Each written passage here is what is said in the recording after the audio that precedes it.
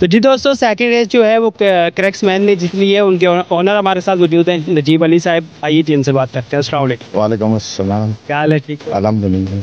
चला से क्या माशाल्लाह बहुत अच्छी रेस की। अच्छा घोड़ा ही है मगर ठीक नहीं था बीच पिछले दिनों तो अच्छी रेस नहीं कर माशाल्लाह अपनी जगह फिट हो गया है तो अच्छी रेस कर रहा है। एवरेज भी था और रेस से पहले क्या आपकी मज़बूत था कि जीतेगा इंशाल्लाह। माशाल्लाह से भी हर ओनर हर ओनर की उम्मीद होती है कि उसका घोड़ा जीते। माँ को अपना बेटा पसंद होता है। बिल्कुल बिल्कुल यही बात है। और इंशाल्लाह आगे भी जीतेगा इंशाल्लाह। इंशाल्लाह आगे मुलाकात का सिलसिला इंशाल्लाह जारी रहेगा इंशाल्लाह। Thank you.